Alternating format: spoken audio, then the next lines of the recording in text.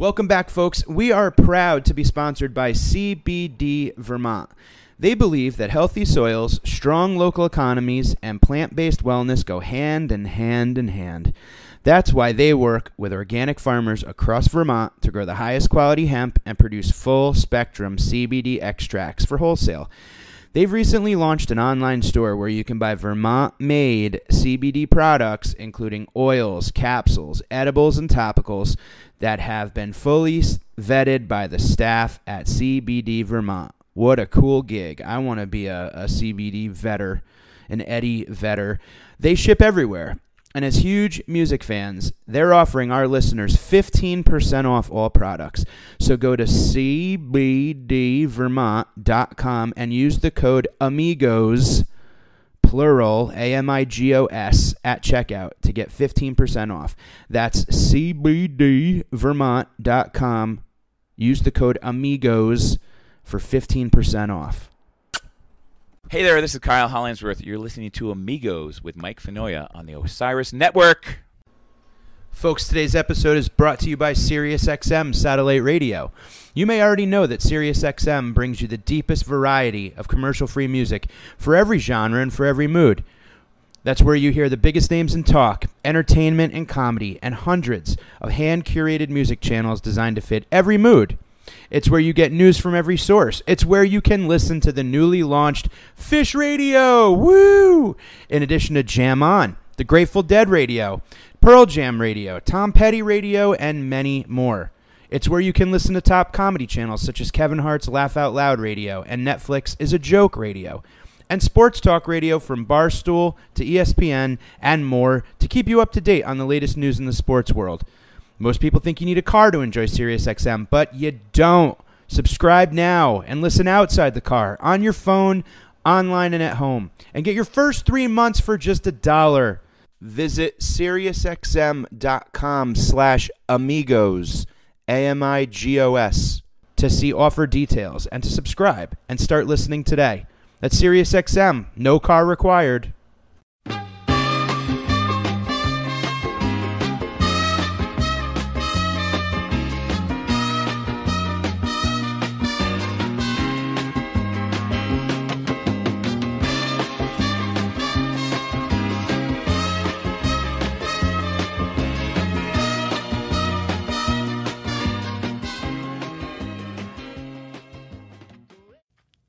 What's up, ladies and gentlemen? Welcome back to another episode of Amigos. This is your host, Mike Finoia. I hope you guys are doing great.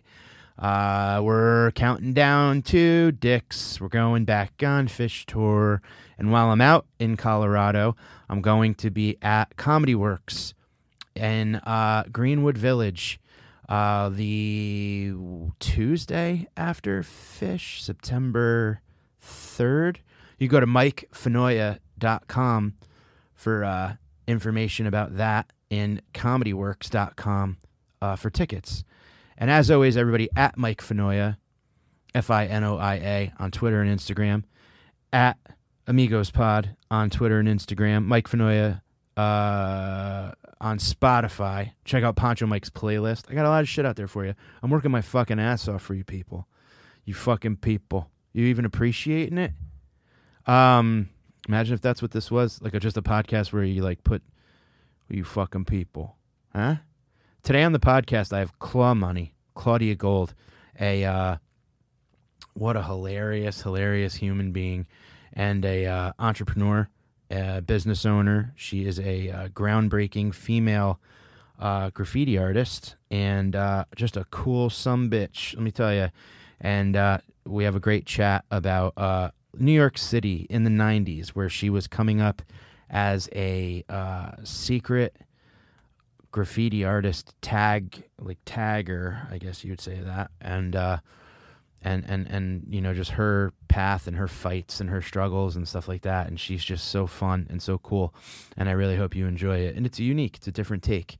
Not all amigos are Phish fans. So uh that's what the new f- saying is going to be. Sometimes you get sick of talking about um those four guys from burlington but i'm excited to go see them at Dick's. Are you going to Dick's? Let's uh, meet up. Let's have an Amigos hang. So uh, hit me up at um, the Facebook discussion group, or amigospod at gmail.com with any questions. We're going to start handling some, getting back to doing uh, questions. I got a bunch of questions in my inbox from listeners, and we're going to uh, release them soon. I'm going to answer them per episode. So thank you guys for listening, and uh, we'll catch you on the flip.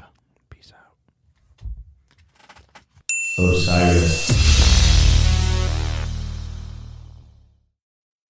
a very talented uh, New York City graffiti artist turned fashion designer, Claw Money, Claudia Gold. What's up?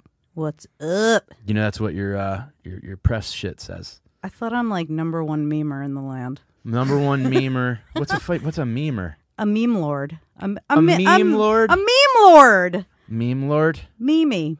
You meme? Are you a memer? Is that your uh, yeah. your favorite thing to I do now? fucking love memes. They're so fun. What do you like about them? Um, I like how they sort of spread and how they mutate and how they sort of take a life of their own. Yeah, Yeah, it's pretty pretty fun. you like the internet?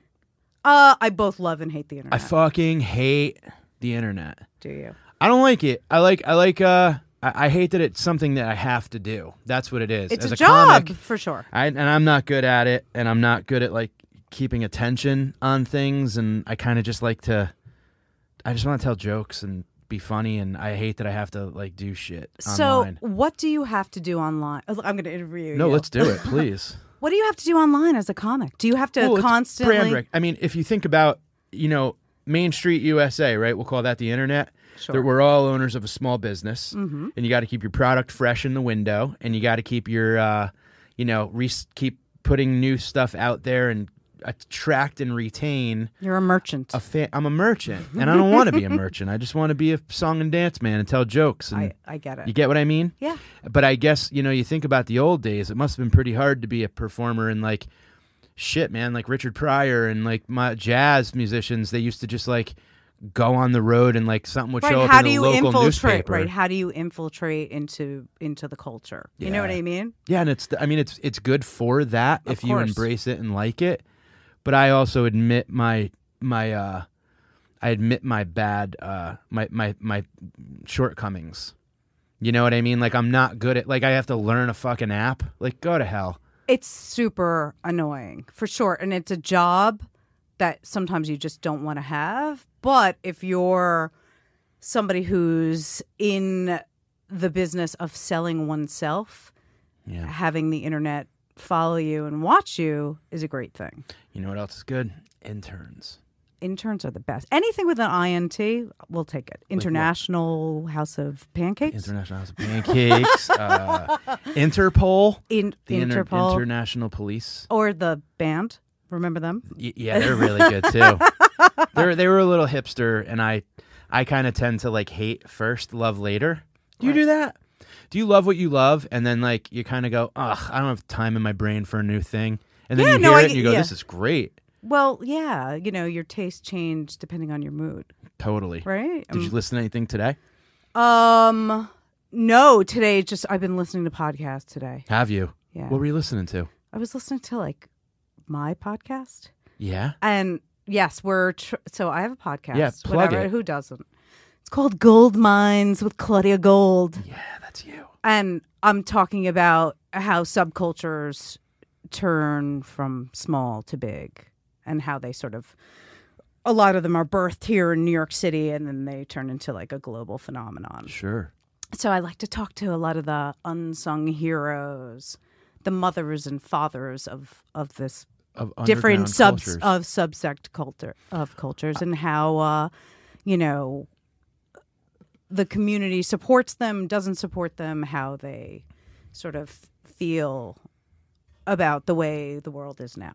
Do you focus on any particular genre? Is it music? Is it art? Is it uh, skateboarding? Is it So- drugs? So, it's all all of that except for the drugs. Um, I like to keep it Clean. keep it clean. You know what I mean? So no SEX. no, stuff? no, I don't want to bring any heat onto my my peoples. Oh no, of course. so you're talking straight up legit underground. Oh yeah, like real underground. So I interview a lot of um, graffiti artists. Underground culture. Right. So DJing. Right. So I had Clark Kent, DJ Really? Clark Kent on uh, was on our first episode. I had A-Trak Wow. Because New York's so fascinating. yeah, it's fascinating. Yeah. Um, incredibly interesting graffiti artists that do all sorts of things to sort of like propagate the culture in different ways. Mm-hmm. Um, I talk to photographers and you know Yeah. people Do that you talk to comedians? um. We're pretty effing I need to talk. I need to talk to comedians. I know one. All right, you'll Yeah, be on my podcast, Sure. Love to. Subculture King. Yeah, Subculture King will call me. I love street art so much, and I'm amazed at how it's done and when it's done. And it's like a night art. I feel like sometimes It is the the art of the night. It's the uh, art of the night. So is comedy. Yes. So there will be times when I'm leaving the West Village at like whatever, 3.30, 4 o'clock in the morning to get back to Astoria. And I'm like driving by and I see like under the cover of a canopy with a somebody light right. underneath. Somebody doing a little something. And I'm like, this, I can't wait to see what this is tomorrow. You're like, what rodent was that? What rodent? Jesus Christ! I'm gonna remember. Um, when did you? Let's let's start with you. Okay, Okay, you grew up here I did. in in Alphabet City. No, I didn't grow We're up in in the East Alpha. Village Manhattan right now, listeners. Shout out to uh, the EV. I, I rep the EV. I lived and on Second Ave and Fifth for a couple years. You did. Yeah, Did you- police block, yes. which was nice because I had a car, so I could park there for weeks without moving my car. really. Did they? Were they like your homies? No, no, no, no. You no, you had a fuck them. plaque or anything? No, no, what no. it was just there was was no they- street. There was no street sweeping on that block. Essentially, what they did was they told the the brownies. So the cops call the the the girl, the, Girl Scouts. No, I wish. they came to deliver our cookies, and they're like, "You get the f off." No, it was. They're like, um, he's got a spot. Okay. no, I guess the the the um the cops that do the um you know whatever the meter parking cops, meter maids or whatever the hell. Day ruiners, I call them. Day ruiners are right, grumpy people. I call them wet fireworks. And they um they told them, "We'll tell you when you're gonna sweep our street, and because we're the cops and whatever." So they would because their personal vehicles were getting ticketed. So I just said, "Hey, don't mind if I do." And I had a car in the East Village for like four years, and it was the most unbelievable thing in the mm. world. Well, having a car in East Village, and maybe we shouldn't say it because it's a, a very un, unknown secret, but it's very easy to park over It's here. not that bad. and if you can get into the rhythm of the, you know, move your car Yep. and sort of stay local while your car is double parked, Yep, you're good. you're live you're living. you are living. You are you're living. Yeah, and you know what? I Can a- I tell you? yeah. I got to know my neighbors on Mondays and Thursday mornings from 8:30 to 10 because we would go sometimes sit out when they would s- sweep the street. Yeah. We had to sit in our cars and move over. Oh, honey, while I the- know. And then you back right into your old spot. But I would like get to know my But- neighbors. It- I almost thought it would be a good idea for a TV show. But I'll tell you because I would know my neighbors too. But it's at the time when I lived in the East Village, I had like okay, so I had to park and mo- do my parking, Yep.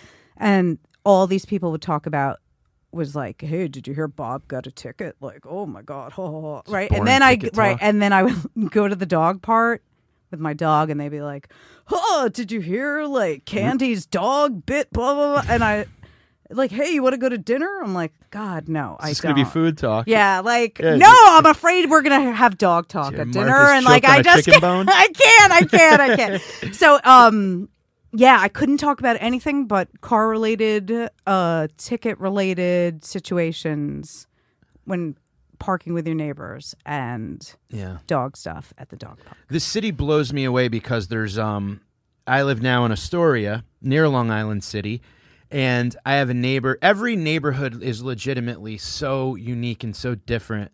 It's like you took a whole state and you whittled it down to in size to fit this island, and every single block, every single street has their little like Has its own subtlety flavor. and nuance Sure, and flavor. sure. There's a guy in my neighborhood now.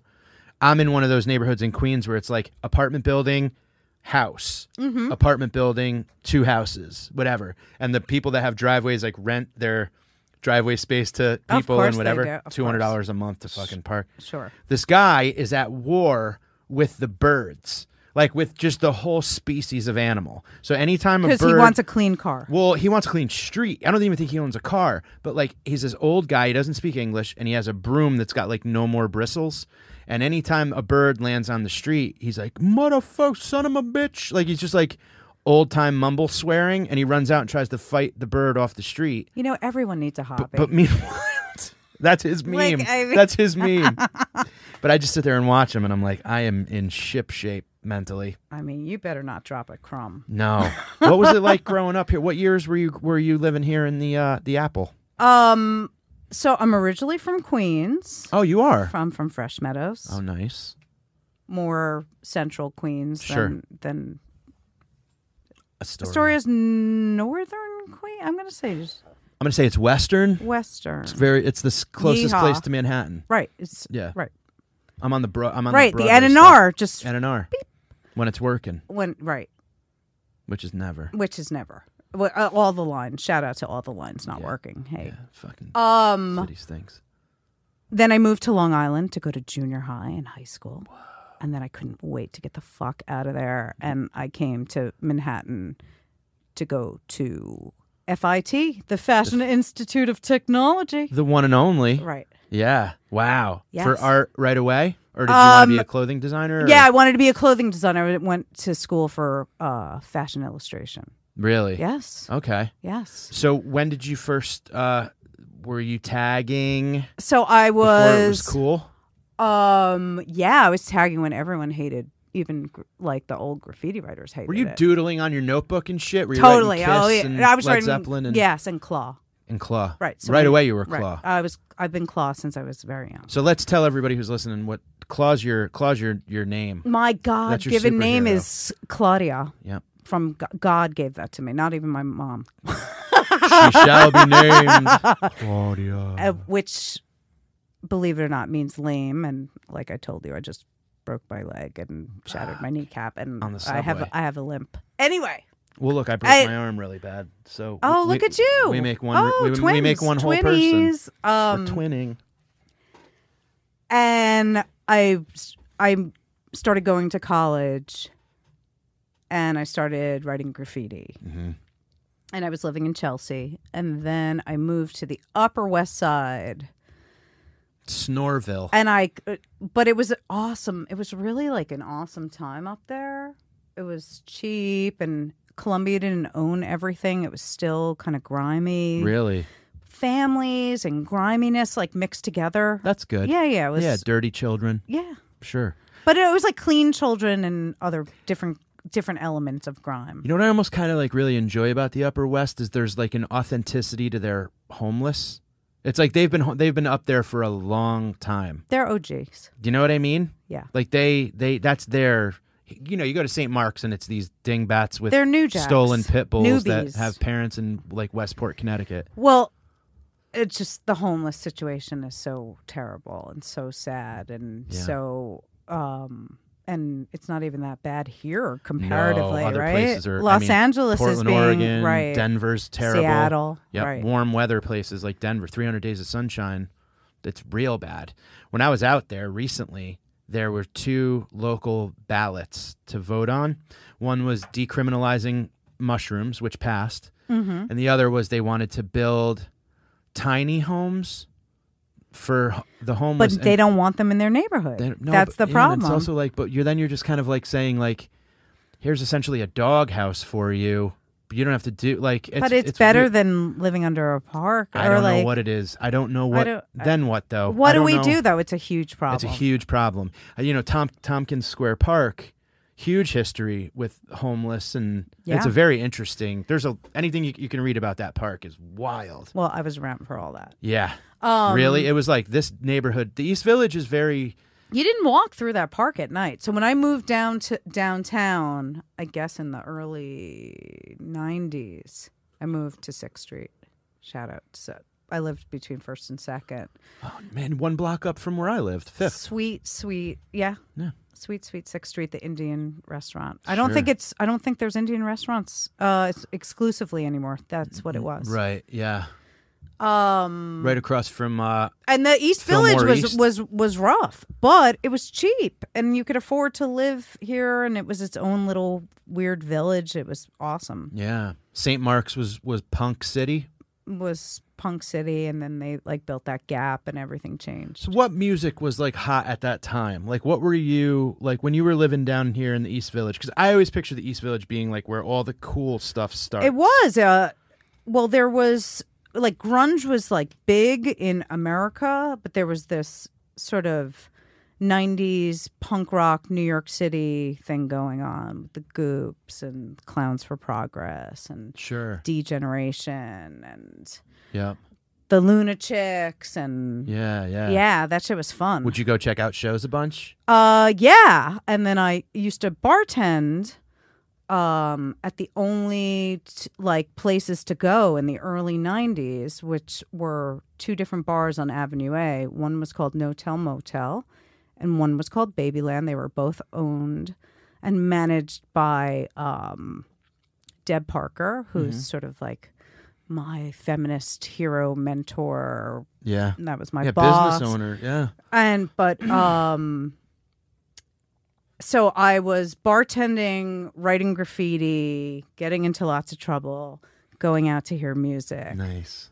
and, And how i would say you? like uh i was in my 20s in my Early, early 20s. 20s in in the 90s and that was in retrospect that was sort of like the last of the wild times i mean i think people still have wild times Pre-internet. but yes and i think the idea of just being free and not so performative right now sort of like you go to clubs and nobody's dancing but you pull the cameras out and all of a sudden they start dancing Sure. it was sort of like That's a don't good point. don't fucking take a picture of me. I'm fucking dancing. Yeah. like, Like, you yeah, know what I yes, mean? Like, yes. That's so true. Right? I think You're about, like, I think about growing up and like you know I where was, are you from? I'm from New Haven, Connecticut, Ah. and then I moved out to Denver for a while and came back. But Very I, white of you. I know. I ran away to Denver because Kerouac ran away to Denver. That's why. Ah, I- okay. I, worked at a car wash when I was. Uh, I was. I'm not like wealthy Connecticut. I'm like not at no, all. No Muffy. no, I worked for the Muffies. I did like landscaping. Worked at. A, I'm blue collar. You know, I'm the I- first one in my family to go to college. All that. My folks had me when they were like 18. Eight. So it was, yeah, Yeah. My mom was, yeah. I'm older than my mother, but no, I used to come down all the time. I used to come, like, hop on the train and come to the city, and I remember being like in the subway when there was graffiti in the subway, Yeah. and that's so cool. I I miss that part of you know. Now there's like weird ads on the trains for It's weird because, you know, if you think about it, what people didn't like that it was like you're in this dark coffin underground with like sort of these like bad vibes. I think that's why. but it, that's I guess perception is reality. Right. 'Cause I remember being a little kid. Well, when you would see like the the huge beautiful pieces on the train, but I think people hated the tags, the scrawls. See, yeah, maybe Not you because you were a child and of course you love it. It's the coolest shit ever. Well, and also because I could never do it. I'm a very uh I could play guitar, I can I could do stand up, I can write, I can I, I'm not artistically uh I just can't do it. And I'm so jealous. Like I have a try. I have I, I'm not one of those people like I can't even draw. Like if you said draw a Christmas tree, it would just be like triangles and a box on the bottom. Like I'm That not good works. at Yeah, but it sucks. I'm not I know my f- bad, you know. so they say that drawing is just like reading and writing. And if it's nurtured at a young age where it becomes just this like Sure. visual language, Yep. repetitiveness, right? Yeah. That you and everyone can do it. I'm but sure. it's just like you know if that's something right that wasn't sort of instilled in you when you were young you might not have the proclivity for it Yes. Great that's a good word. Proclivity. So like connecticut you know i'm trying to Oh, yeah. proclivity. that was my uh, my sister's name is proclivity. uh-huh. Um, you know, everybody picks up their first, uh, you know, their guitar, their first baseball bat, whatever. Smoke their first cigarette.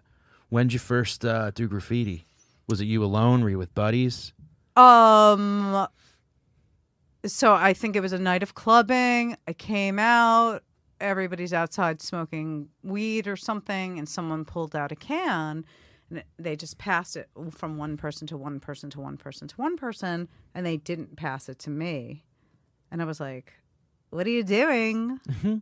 I'm Claw, duh." Like Were you Claw? uh, were I you, was just like, Claw. at It was my home? name, right? So Claw was my nickname. But you're all over. I could see at home you had pieces of paper that said Claw 80 Sure, times. for all sure, over it. for sure. Yeah.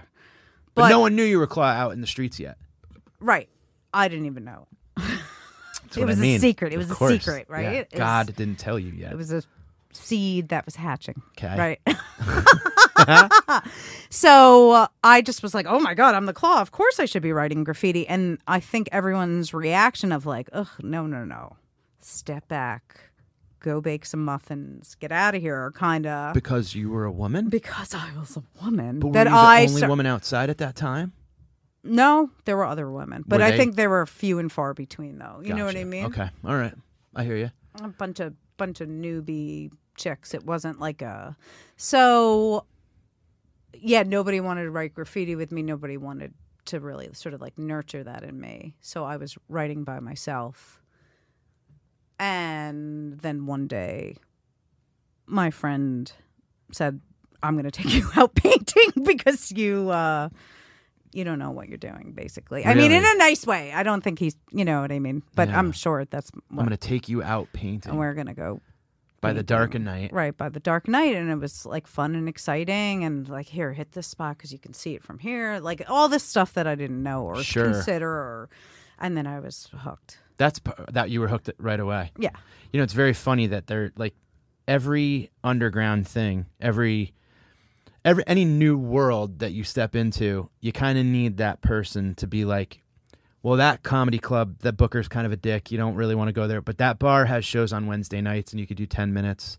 And then this place, you know, you have to audition, and you can, it, you with your friend. That's like, if you hit right there on that wall, they're They a comedy book they're like my booker Yeah, well, yeah, and it's like a mentor. Like I've had For sure. when I first moved down here, it was like I had a, an elder statesman that was basically like, "I'm going to bring you to this club and this club and get you in, to introduce you to here." that's what you do you're a literal piece of shit if you don't do that well, you have to help everybody. i mean you have you know what I mean? right But I'm so fascinated by this, like, you know, all right, so it's nighttime and it's 1990 or whatever, and we're in the we're in Alphabet City or the East Village, Mm-hmm. and there's all these virgin brick walls. Okay, how do you choose? Is there territory? Is there turf? Can you like go? well it is kind of weird like turf territory gang shit like it like i didn't think it was at the time but yeah, now when i look that's back fascinating to me. What was it like? Well, I I had a, a complete advantage because no one had any idea that I was a woman. I didn't choose uh, an overtly feminine name or put lady in front of it and Yeah, draw hearts. and like I did I Pink nail polish or right, anything like that? and. I I did it on purpose to sort of. It also seemed like aggressive and sort of masculine. Mhm. Um, you kind of didn't paint on a virgin brick wall because it was just either cleaned or they they keep it clean. So you look for something that already has graffiti that's been there Ah, because then, right, you're like, oh, I have a chance of living here, got it. right? Yeah. And of course you start you start off and you write over people you shouldn't be writing over because you just don't read it or doing. see it or know it or understand the way it works but you learn pretty fast Really? yeah and what's retaliation like? They just paint over yours? yeah and or and then you like seek out their things and like rag them wow. you know yeah yeah yeah. Did it ever get physical? Does it get physical? yeah it gets it gets physical Really? for sure Fuck. and that's um the thing that is sort of like weighs so heavy on me is because like i'm in like crews right Sure. it's like a basketball team and this is not only something that like women are relegated to but it, it's not my position to be fighting my fight Sure. so somebody else has to fight my fight so i have to make sure that this fight is worthy of like pu- putting my friend up like you know what i mean I hear you. Yeah, yeah, yeah. so I'm uh, I'm a lover, not a fighter. Yeah, I I- can let's that. let's work this out. when were you born? I don't know what it means. I'm just I'm a Sagittarius. yeah. What's that mean? I'm just the best. Whatever. What can I say? Are you? I don't know what any of that shit means. Whatever. I you know you I just felt you like just it was take a good time to right ask. right right. You know how sometimes there's a good time to ask a question. I was born at three forty one in the afternoon. I mean, it's the God hour. Whatever. I was born at 9:40 in the morning. Really? The devil's hour. I mean, obviously, you have problems. So so you get your first. So you go out. You get your first tag down. Yeah, you're like, get your tags right, and then you start developing more, and then you have this thing called like a throw up, which is like a two color kind of like bubble letter. Okay. So I was doing those all over town. And then I said, Oh, wouldn't that be cute? And it was very much like my scrawling on my uh, sixth grade, like denim notebook, Yeah. right? On my uh, three ring binder. yeah, your trapper keeper. Yeah. very like junior high Long Island girl bubble letters. Okay. You know, it could have had like a bunny right Yeah, there. gem and the right? holograms So like, type shit. Right, right. Yeah. Claw. And then I started adding the nails to my W. Okay. And when I started writing graffiti, the trains had stopped. They any train that had paint on it, they took it out of service, they cleaned it. They were not running anything with any graffiti. Who was it. that that was in charge at the time? Was I that, believe uh, uh, it was like Koch, and then Julie- and then it uh, shifted to Dinkins. Dinkins was a good era for graffiti, but they were still really like crazy about the subways in particular. So everybody like moved onto the streets that were kind of. A lot of the subway guys were like, "Yo, if you didn't write on subways, then you ain't shit. You didn't get up. Graffiti's dead." yeah, like, it's kind of like fuck that old school thing. right. Yeah, yeah. So when I started writing in the streets, the subways were done. We were painting on trucks because they moved around. Oh yeah. So I would go into a truck yard, and instead of you know being able to do one or two claws, I would do you know thirty claws on these trucks. You know, go into a truck yard. So Right. like like a like a wholesale like a food delivery business or whatever. You would just right go there's like at night. so there would be like these big truck yards. There was one on Delancey. There was one on Houston. You had to like climb over the fence. And What are you wearing? Black jeans and like a, a black No, turtleneck. just and like I'm just me. I like probably like hat. shorts and a t-shirt and some sneakers and like a baseball cap or something. My bun, like my hair tucked into a bun or something. okay. Um, and I'm like painting all the all the trucks, and uh, uh, some guy decided he hated me, and he went and started ragging all my trucks, and he sort of just left the W out Ooh. And one of these trucks like drove by. I was like, "Oh, you could see the truck," and you're like, "Oh, I recognize that thing on the front. That's my truck. I'm going to stand here and wait for my truck to drive by." And I saw that like the whole thing like scrawled out in front, and the W is hanging out, just a little paw with, With the, the nails, claws, and. I was like, "There she is." Amazing. And so then I sort you of had an epiphany. You saw your own thing go by. right, I, and I was pissed, and then I was like, "Actually, this is a gift," Yeah. And that's how I like to look at life. Yeah. Totally. Right? We're all Everyth- dented cans, you know? Yeah, absolutely. That's so cool. So then I just I got this new sort of uh icon and I just was like, "Oh, this is very mysterious." Yeah. And it's my actual it's my name. My name is Claudia. Yeah. Claw, right? And but I don't have to write letters.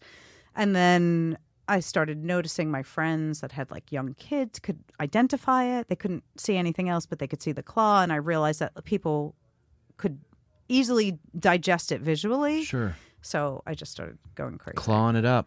And then it was that that claw ended up all over the city, huh? all over the place. How long would it take you, like start to finish, if you were gonna do a normal size claw? Like you get in, you're doing a truck.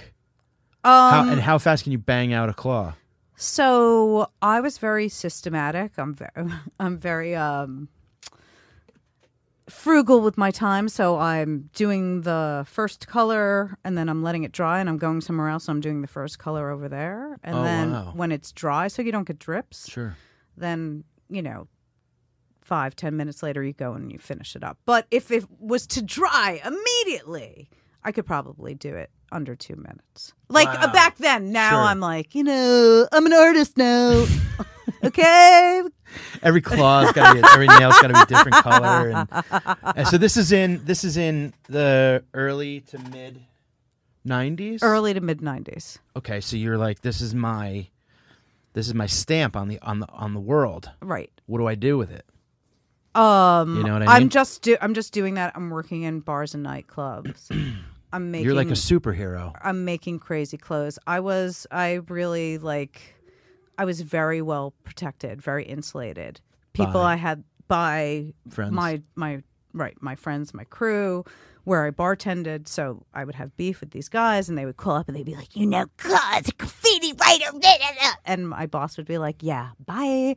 Wow. And like it, Really? so yeah, uh, so if there were like problems, I could sort of like run into any bar downtown. Like I like shit Did you, was. you physically felt like scared for your yeah, I mean, there would be situations you'd be like, "Oh my god, that guy knows it's me." Other Like, artists. Oh yeah, well, not other artists, other graffiti writers that I have problems with, or my friends have problems with. It's just like that. yeah, Um, amazing. So you had to like look over your. you had to look over your Did shoulder. you live alone or did you have roommates? No, I lived alone. I What the hell was rent in the Well, like four hundred and fifty dollars for like a, a railroad apartment, like a, a, uh, one bedroom or studio? a one kinda? bedroom railroad apartment with three divisional rooms. Yes, my shower was in the kitchen That's and my fine. toilet was in the living room, but I, enclosed. They were both enclosed. That's why you didn't have any company. That's why you never have company over when you have a railroad. I remember apartment. my parents coming over and me being like, "I'm, g- I got to take a shower," and then they're like, Can you go in the stand in the kitchen, hallway? like-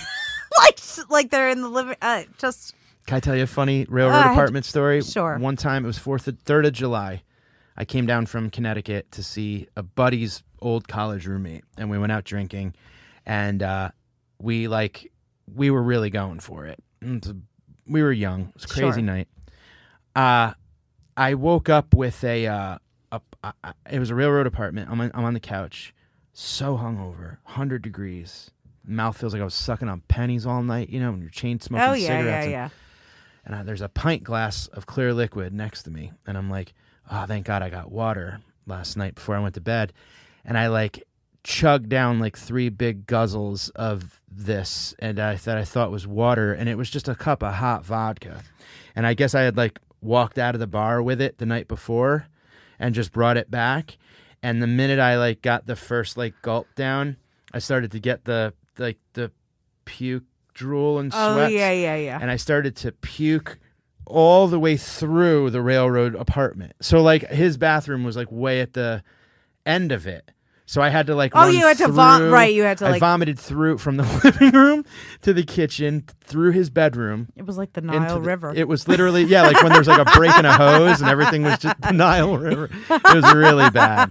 It was the worst. But yeah, Hot railroad vodka, So hot vodka. four hundred dollar. Wow. Okay, so you're living alone. You're bartending, killing it. Make bartenders are like making so much recession-proof. money, right? And uh, you got these other graffiti artists that are like Right. So then I had a, a huge, like, I had this crazy amount of beef.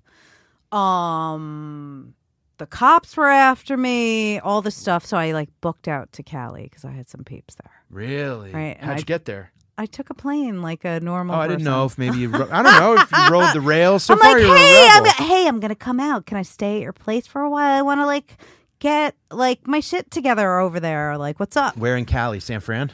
No, I went to Los Angeles. I went to Los Feliz, and but I stayed with a friend Mm-hmm. for um about a month, and then I tried to get uh these cool like bartending gigs. And the crazy thing out there back then, this is like '95, was that for five hundred and fifty dollars, you could get get a like a house. house.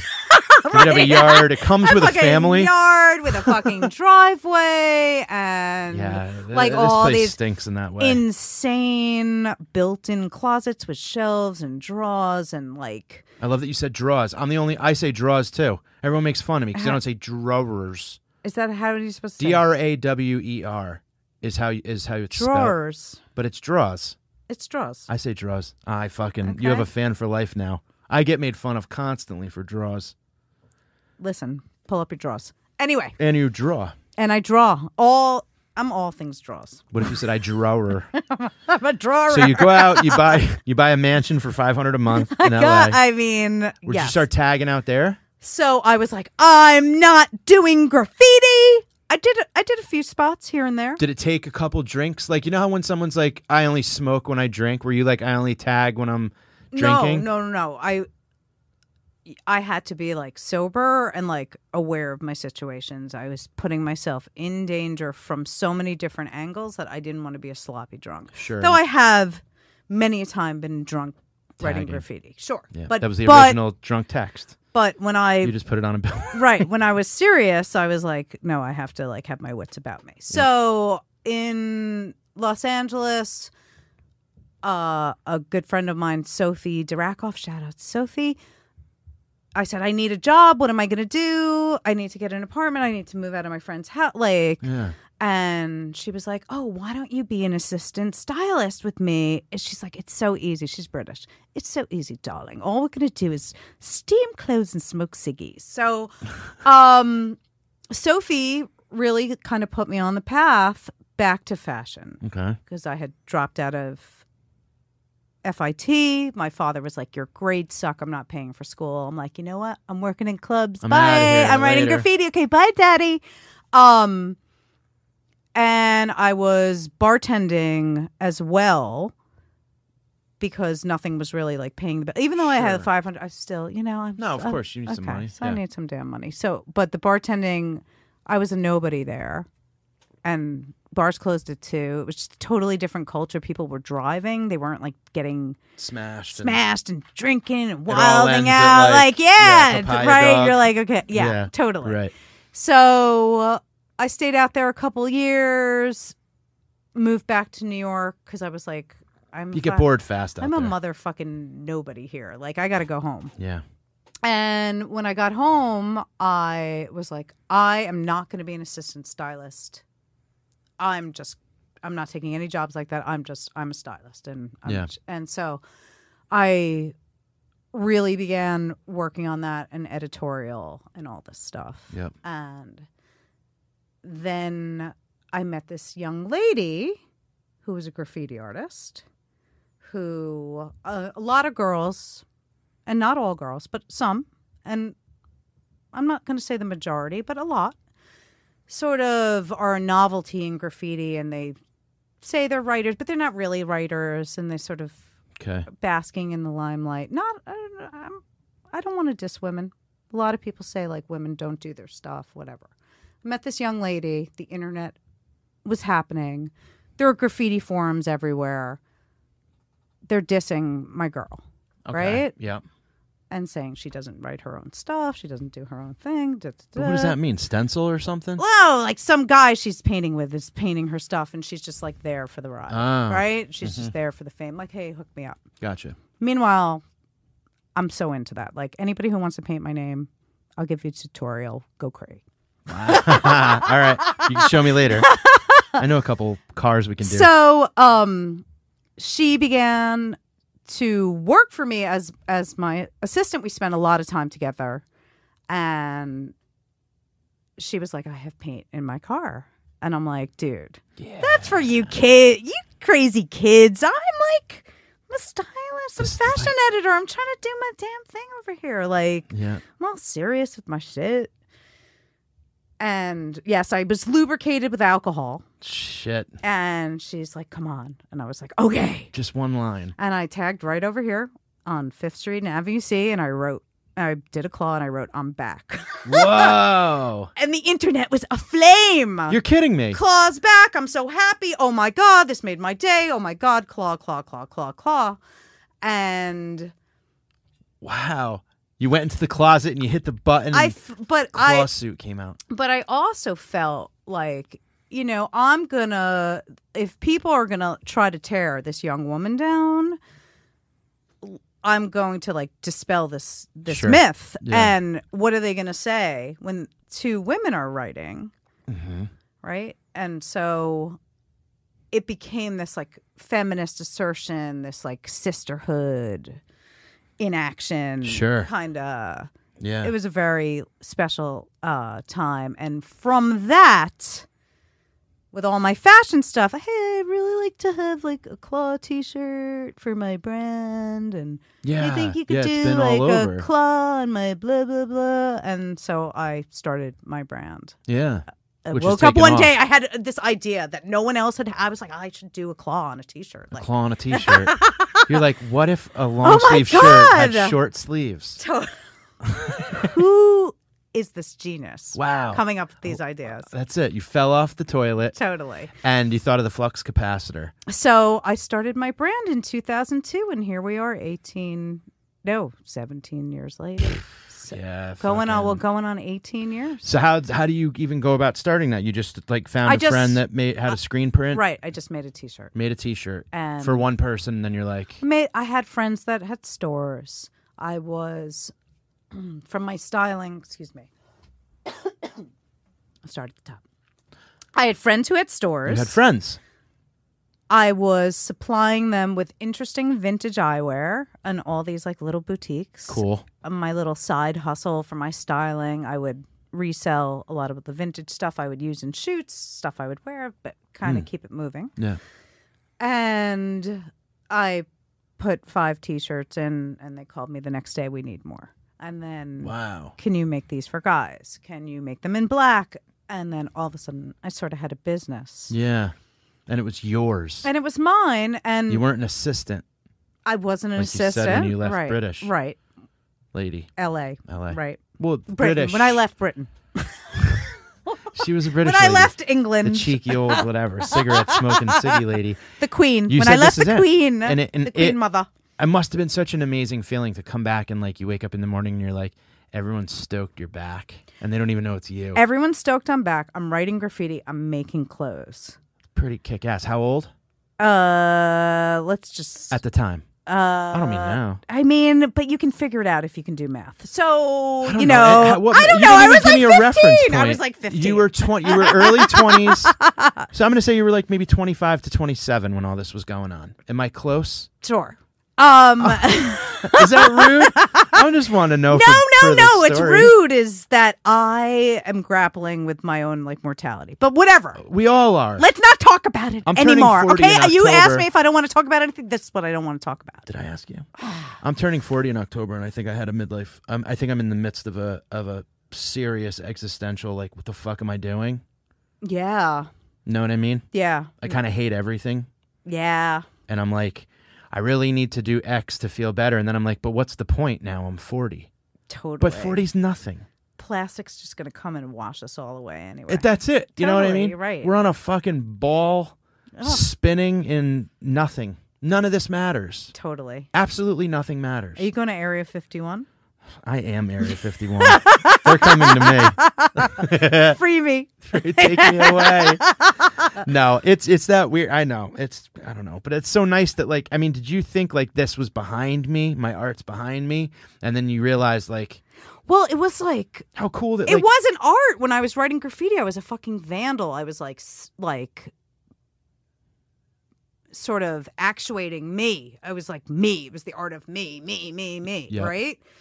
And then my second wave after not painting for you know, 4 or 5 years.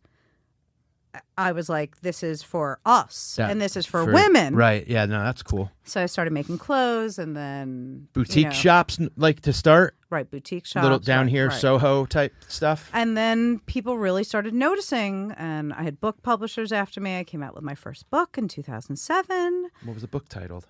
Bombshell, duh, The Life and Crimes of Claw Money. Come on, get up on it. Okay, Yeah. is it? Uh, do you have an audiobook?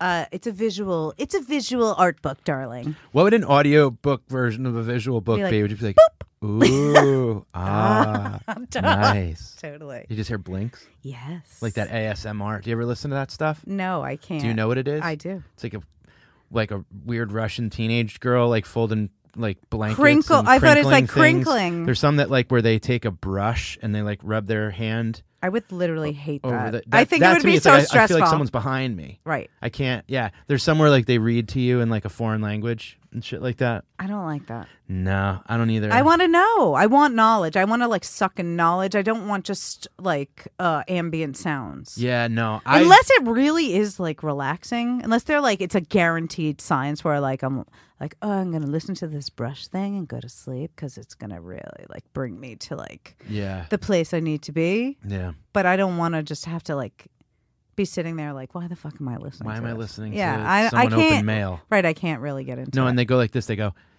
"I'm in this here," and then they go, "And now I'm over here," and it's like this weird like you have Isn't to, that podcast? it's basically yeah that's all I do I just listen to your podcast when I go to sleep but I'm also like why the fuck do I want to go to sleep with like Beats headphones on do you know what I mean like Sure. who's comfortable I listen to audio books um about music and about a music that I love Did you listen to the Beastie Boys audio? holy shit it it's was so the greatest good. thing in the It's so world good, right? the greatest. I know. And the, the the whole concept of it, very Monty Python in a way, where it's like, you know, they'd pop in and like go, well, that's not really how it happened, and they had all these like New York icons. They had New York icons narrating it. It was so well done. Yeah, we, I talked about it a bunch on this, and I went to the show at King's Theater in Brooklyn and saw the live Beasties show.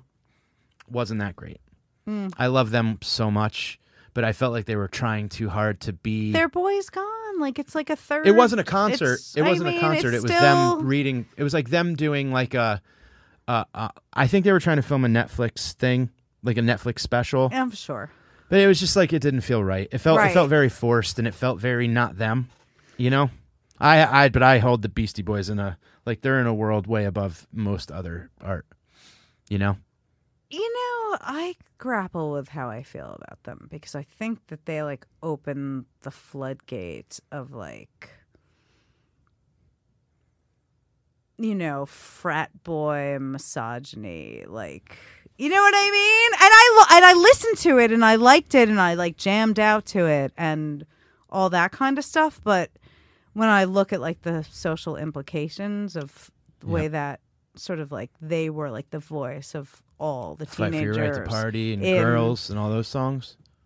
right? And then you know, Basically the then they changed, they Ill. evolved. You know what? I need to let them evolve, and I need to you- forgive them. You know what I really do have to I was going to ask you because there's even like in the book there's a chapter written by a woman that was once in the band. Yes, And Kate. yeah, and she talks about how like and, and they admit it and they apologize and they they you know That's just dedicated how it is. The girl always gets tossed to the but let me ask you a question. Okay, like as a guy now in the world who was raised by women and who respect I have to tell you, I think that pretty much most of my opportunities in life and most of my lessons came from women. My advisor in college was a black woman who was a playwright, and I think she's one of the most brilliant. I was going to quit college, and I didn't because of her. And I ended up like getting published my senior year and all this like you heard it here first. Women, I don't you love women. I- yeah, oh, totally. But I never, I never had that like that side of things where it's like oh, Right, this broad over for- here. I never had that. but I never. you but like societally, we did. I tried to have sex with women that I, I Of I- course, as you right as and as, women tried to have sex. Yeah, it, it wasn't. I'm not saying it was like I'm some angel, but my point is this: is That- like, I'm not. But why is that even a bad thing? I'm not. right. to the like, Beasties at the time. mhm. I wonder. What I'm saying is, I kind of wonder if that like frat boy anthem would have just been someone else would have done it. Totally. And I like think they I think wa- maybe it was going on before them. Movies like, you know, Revenge of the Nerds, Meatballs, like all that, like kind of Animal House, Animal House, Porky's, Yeah. sure. It, It was, all like, all kind of added into the panty raid type shit, you know. But it was all the same shit, and it's this like media, the Hollywood effect. of, Sure. like- sure. I think now, you know, it's kind of funny. I go to lots of concerts. I'm a big Phish fan and a Grateful Dead fan, and recently there's been a lot of, I guess, a the lot dead of. were just here. Yeah, did you go? Uh, no. Do you? Sorry, I listen to hip hop, Do you? gangster rap. I only listen to gangster rap and um, Only bluegrass. No, I listen to everything. bluegrass and that's pretty. uh I like that. yeah. is uh, I guess like lately there's been quite a bit of like uh handsy uh stuff going on at concerts where there's been like dudes running around grabbing grabbing There heinies. always were, but nobody talked about it because it was just the way it fucking was, and you couldn't say anything. Shit, is there's really always predators out there, yeah you know. But it was sort of like you couldn't say anything before, and now you can. I got into one fight in my life and it was uh in college and it was a um I got the fucking shit kicked out of me by a bouncer at a bar at UConn, University of Connecticut, because a guy was slapping his girlfriend in the parking lot, and I went over and I decked him, and the bouncer saw me hit the guy, and then came running over, and like with a full head of steam caught me in the ribs and tossed me over one car and onto another, and while I was You were the like air- the bagel boy. Wow. The bagel boss. And while I was in the air, the girl goes, "No, he was helping," and he, the guy's like, "Sorry," and I'm like, "It's all good." He didn't like run and Boom. catch you and landed on a Jeep Wrangler. oh And I had a, like a purple and yeah, ah, God, it was brutal. But um, that was just. that's what you I, get I never for I, look. doing I grew good up with deeds. mom. I grew up with a great mom, great grandmother, great sisters, friends. I just it bothers me that there's even that type of you know. But I guess it, it is what it is. And now what? So the Beasties, you know, like they in their live show, they address it. I know, so they have to they have to like pander to like the new world. You think it's pandering?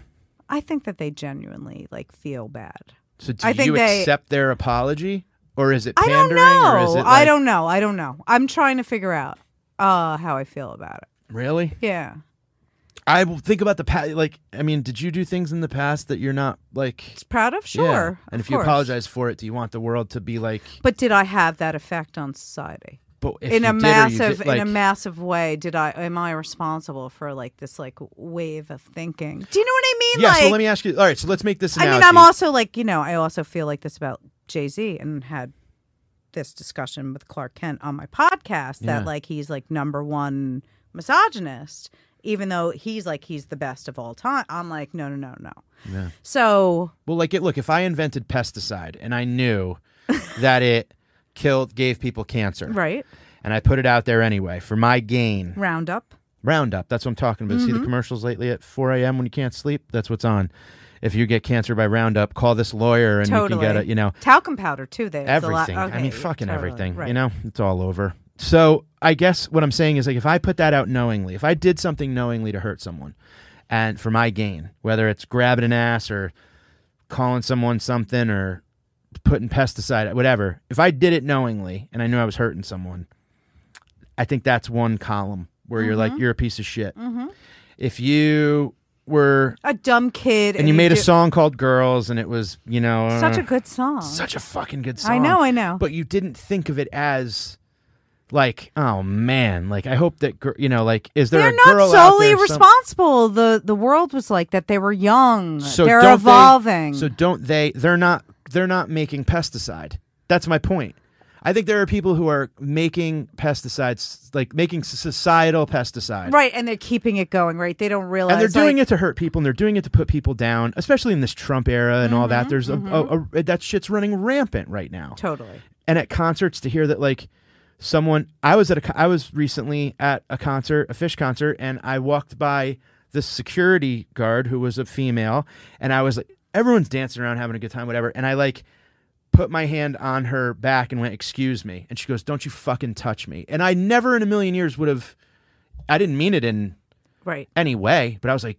Whoa, like yeah, okay, like this is where we're at But now. what if like she had, maybe she's but been What if she had a bad day? that's and what, I'm if saying. okay? I'm So not what if it saying was I didn't- just I didn't, go fuck you. I was Right. like, wow, I'm sorry. Right. I took it in and was like, Yes, yeah, that's where we're that's at now. what you have to do. so they just did it on a much larger. They touched the back of 10 million people. I mean, but it, they apologized. I mean, I give them credit for for that. I mean, they they. I mean, if you read the the book and listen to what they've said, they, they, they are huge- so sad and so sorry about it. Yeah, and, and and like um, even the lines and some of the, like the disrespect to women has got to be through. To all the mothers and the sisters and the wives and friends, I want to offer my love and respect till the end. Pandering.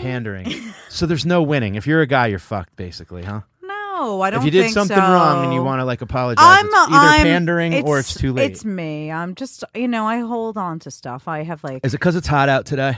Maybe. Maybe and your knee hurts. Maybe, and maybe if we were like here, like vibing, I would feel differently. Are we and not I'd vibe? No, we're vibing, but I mean the Beastie Boys. I wish the Beastie Boys were here. That'd be pretty. And that wouldn't be the question I'd be asking them. I'd be like, okay, maybe I see. You know what I mean? But Yeah. I have blockers on, and I'm like, fuck you. Just that's See, me. I Whatever. think I like to that's- be I angry. think that's pesticide. yeah, it may be. We gotta take those blinders. We off. got to take those blinders off and let the love flow in. Gotta let get let the love flow. Bring me fish what do you right think now. about? what do you think about New York now versus when you? Uh, is there any other place in the world for you, or do you just love it so much? Well, I often think like, oh, I should leave. It's so fucking expensive. I have a store on Delancey and Ludlow. Mm-hmm. Been there five years. Wow, rent must be high. Yeah, shit is shit is uh, tough out there for mom and pop shop. Who's there now running the shop?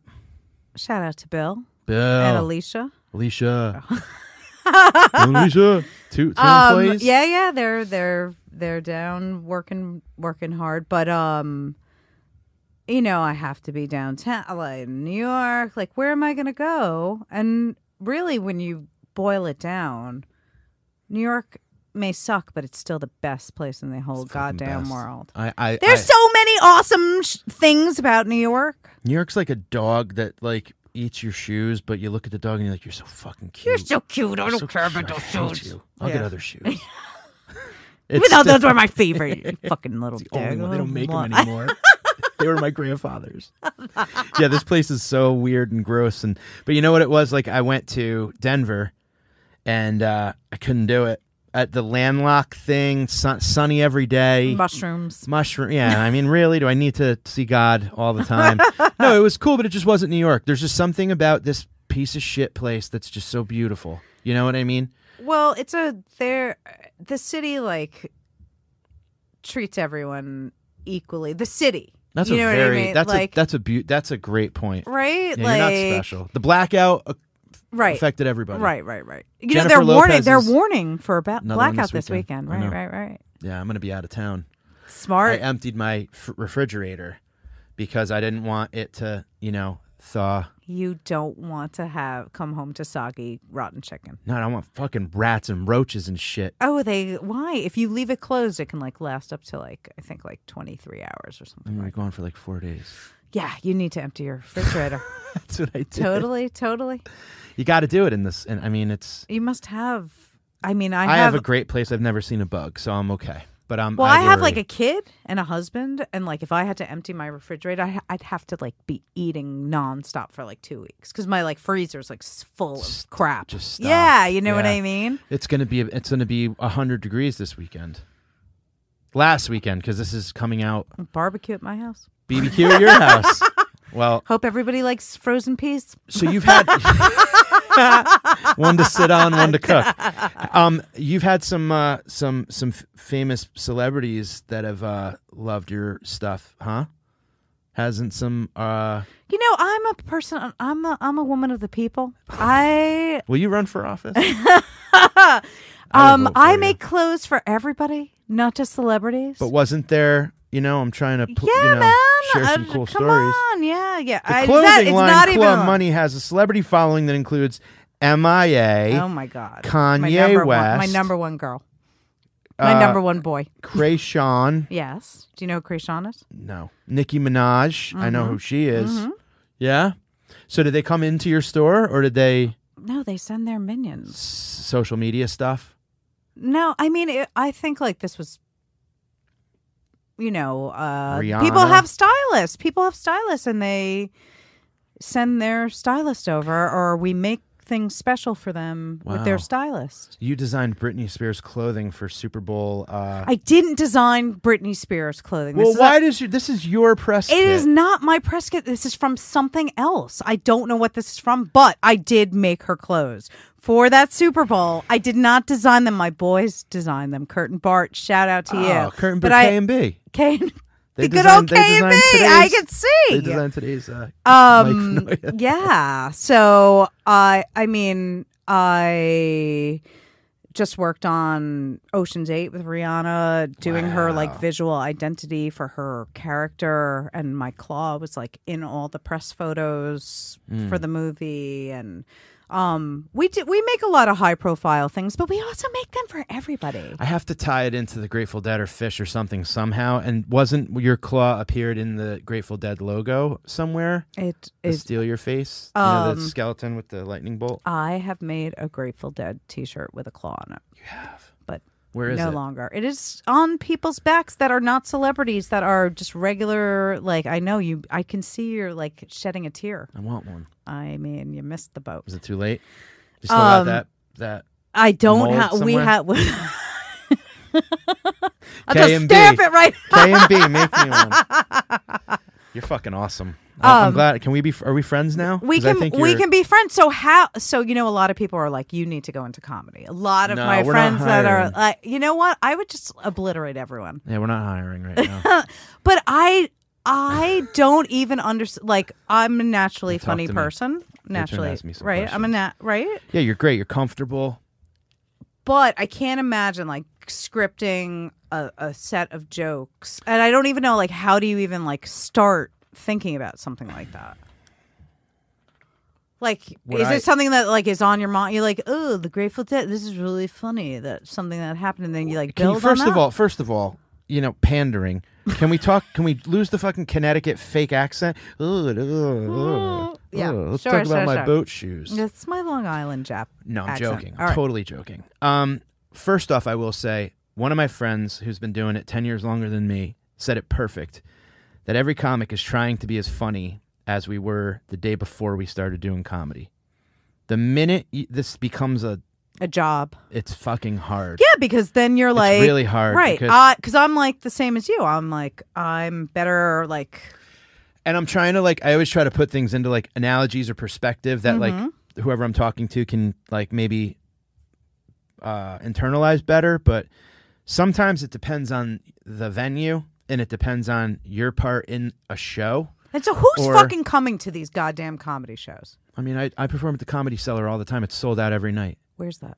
A third in MacDougal in the West Village. Cafe Wha, you know, like where everything started musically. So The I owner of the cellar is the son of the guy that like auditioned Bob Dylan Mm. to like play at like the Village Gate and all those places. You know what so I mean? So I did one comedy thing once. Cipha Sounds. Syph, my I love him. We love him. He's the booby. He's the the. So he was doing this thing with his like sketch comedy troupe where I had to tell a story of something that happened to me and then I didn't know they you know Syph. they acted it out and it was really He's funny. kick ass. Yeah, dude. yeah, He's yeah. A, such a talented guy. His story actually on But all these people like, you should be in comedy, you should be doing. And I was like, uh, go to my fucking Instagram, okay? You want jokes? 101 Delancey, I'm there. You know, I usually leave around five.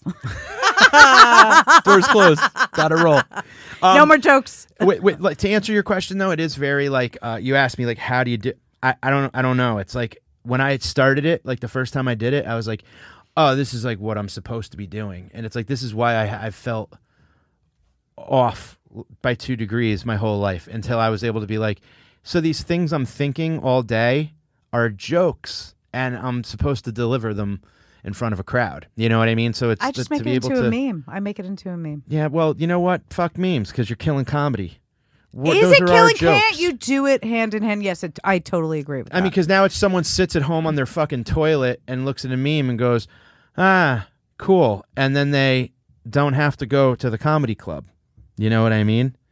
Now I'm, fuck, what am I because? I'm just thinking, like, okay, for me, I don't want. I don't want to go to a comedy club. Then we don't, don't, don't, we don't want you there. I know, I'm but I glad. who the fuck goes to comedy clubs? A lot of people. Comedy's an art. Are you saying that it's a, it doesn't deserve a crowd? Of course it does. It's I the just, people I'm just who- wondering, like, how wh- how do you find your audience? Like, and how does your audience Well- find you? And it's they're like, I'm going to this club because Main they- reason why comics gravitate towards New York and LA is because these clubs have uh, the comedy store, Mitzi Shore, uh, uh, you know, like the, the the legacy behind it, the comedy cellar and and and you know the bookers there and the people that go there. They, we've mean, I went to, like- it's just it's just that's our gym. That's our right. it's jazz in the 50s. Like we're down in a basement, you know, like playing our soul trumpet, man. You know, we're just telling our jokes and doing our thing. So The problem right vulnerable, now- oh, so course. vulnerable, right? Okay. I mean, and it gets to a point where it's like I'm sick and tired of telling jokes about, you know, whatever Instagram or whatever bullshit, vaping, and then you go, I really want to talk about how I have a hole in my heart because I thought my parents didn't love me, or the abortion that a girlfriend had that I didn't want her to have, or a this or a that, or my fears, or my, and then it's like, how do I turn sad into happy and make jokes about it? But nowadays it's so tough because people are so touchy and like it's too it- eh, PC. person- yeah, eh, yes. People take oh, it's so fucking ridiculous. it's so now. annoying. It, the It's liberals brutal. have lost all their sense of humor. Yeah, I use an example of a joke I wrote that's a very.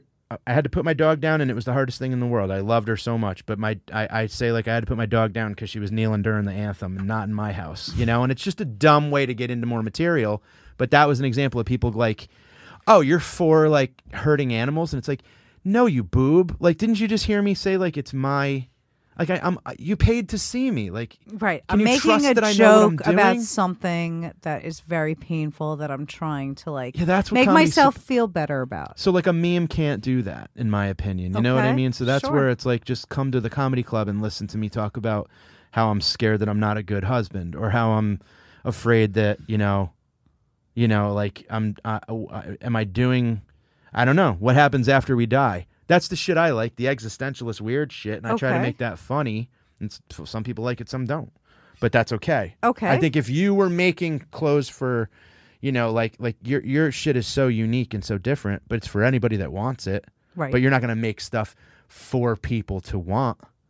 You're going to make your thing, and the people that like it keep wearing it. They you should, get what I'm saying? They should all want it. Well, everybody should want me too. Yeah. Maybe I, I should mean, start wearing your wake shirts. the fuck up, people. That's- okay, we're right here. We're right here. I really like you. I'm glad we met. Yeah, me Tell too. everybody where uh, they can find you one more time on social media and the store and everything. I'm at Claw Money on Instagram. One word. Our store is at Claw and Co. It is very funny. Our store Instagram. We're really Yeah, into jokes. cool. Um, you can find me on the interwebs at clawandco.com and in real life on the corner of Ludlow and Delancey here in beautiful downtown New York City in the Lower East Side. Lower East Side. Yes, It's not Soho. It's the Lower East Side. it's the lower How do you decide that? south of Houston, South of Houston, but isn't but it's more west. more west because Right. the Lower East Side is south of Houston too. Right, but the East Village, so Soho abuts the East Village, and the East Village abuts the Lower East Side. It's more vast, the Lower East Side. Isn't there a new one too? Like Nolita? Is that new? That's not new. That's been around since the 80s. What is it? Nor- low northern. I make them up all the time. I was Yeah. making one up about where I do my podcast, which is sort of a block below. What's your podcast? Tell everybody. Oh my God, my podcast, Gold Mines. Gold Mines. We're on iTunes. We're on Google Play. I want to come on it. all your podcatchers catch it. Cad- Gold Mines with an S. Claudia Gold. Gold. You know, Conne- of the Connecticut Golds. I have NoCa, which is north of Carolines, because that's a comedy club in like 49th and or 50th and Broadway. Mm-hmm. So anything north of there, I call NoCa. Oh, that's good. Well, where I do my my podcast is Canal. It's like Canal Street where Chinatown meets Tribeca, Mm-hmm. and I don't know what to call it, so I call it Tribeca. Chinatown. Chinatown. that's great. I'm like, come down to Chinatown. Tribatown. Thanks for hanging. Yeah, yeah. and thanks thank for you having me. everybody for listening. Be sure to check out Claw's podcast. And uh, as always, at Amigos Pod, at Mike Finoia, F I N O I A, MikeFinoia.com for comedy dates. And uh, we'll catch you on the flip side. Peace. Peace. Adios, amigos.